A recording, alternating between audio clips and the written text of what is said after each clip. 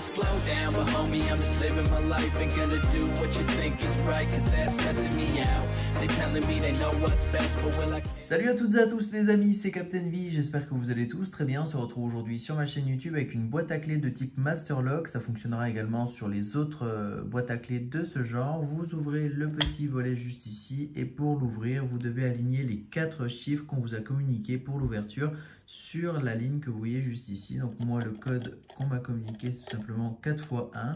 Donc je viens baisser les caractères comme ceci.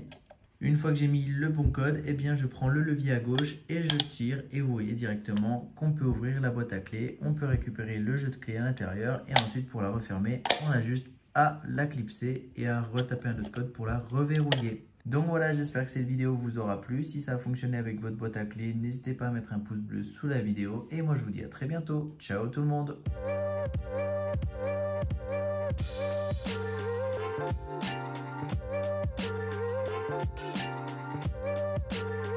Bye.